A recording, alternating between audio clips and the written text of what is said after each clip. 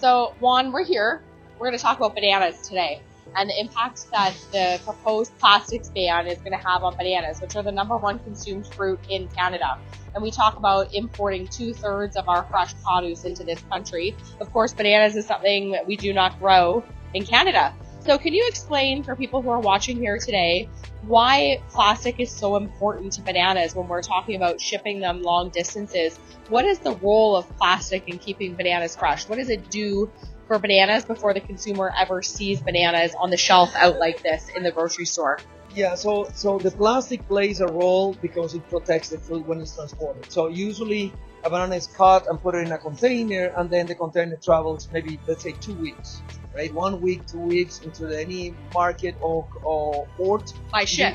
It by goes ship, by yeah, ship in a container line, yeah. South America. Yeah, South instance, America can be? Ecuador, Costa Rica, Colombia, Guatemala, Nicaragua, Mexico, whatever it is. So, so the fruit is transported in a container, then it's discharged in a port, and then it's put in a truck, and the truck is taken into into whatever facility it is, either in Canada or in the US, wherever the it is. grocery store distribution centers before Yes. it gets sent out to the grocery stores. So then it needs to be ripened, and then after ripened, it's taken to the store. The And then- plastic protects the bananas while it's in the box because during shipping they're going to move a lot because there Yes. there's friction from the cardboard touching the banana.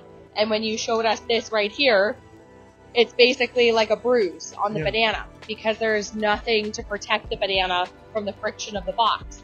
So if we take away that plastic, you're going to see all the bananas like this mm-hmm. and they're going to rot faster, Yes. right? Yes. And also, consumers don't want to buy something that looks like this. They would prefer to buy something that doesn't have any marks on it because they think because it is going to go bad faster. So we're talking about food waste, excess food waste as well. Even though it's perfectly good to eat, it's, Yes. it's just consumers want to buy with their eyes and they want things to look perfect actually, even this fruit that you see here, when you peel it, it's going to be black in this side. on the inside. Yeah, on So the inside as well. It's going to be pure uh, food waste. Now, there are, there are solutions. You can you can have compostable plastic and things like that. But what happens? You need to understand this coming from the tropics in areas that they are very hot, and when you have either you have recyclable, uh, compostable.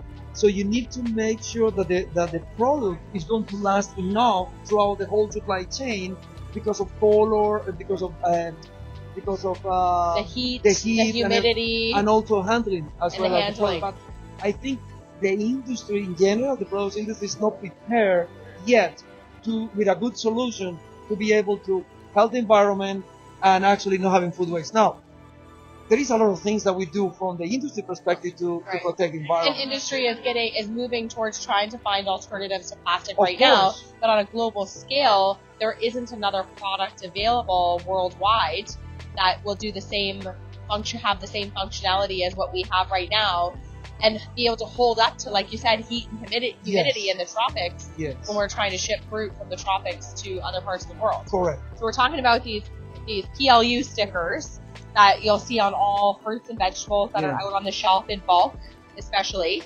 And so let's talk a little bit about um, what the impact of changing these over to a, a compostable sticker is. Not just cost, but functionality and the repercussions of that. Yeah, so so there are solutions that they are they are compostable. The question is there are several kinds of compostable, the industrial one and home base and everything. The second thing is that you need to put glue to Right. be able to stick the fruit. Once you put the glue, they are not necessarily compostable. So Right. again, are, are we solving the problem or not? So you could have a compostable piece of paper, but without the glue to stick it on there, it's Yeah. useless. Is what you're saying. Yes. And also, let's talk about cost. When we talk about changing over from a traditional PLU sticker to what the government wants us to change over to compostable, what is the cost factor and what's that going to mean to the overall The price sol- of the fruit? The solutions that are available today, they are about two or three times more the normal cost that you have for this little piece of paper. And there again, as I, as I was saying, there are other solutions for this, but it also costs more money. but at the end of the day, it's going to cost consumers more money because it's costing you as as an importer or a grower of these products and having to put these new stickers on or finding an alternative to current plastics. That is going to increase the cost of the product to somebody who's buying it at the grocery store, correct? That should be the thing. Yes. Otherwise, somebody has to eat the cost somewhere in the whole place. Right. Somebody has to pay for it. Yeah. And Somebody it has ends to up pay for it. being you, the Usually it's the consumer, at consumer. At the grocery store Usually the for consumer. all of these new regulatory changes that governments Yes. propose.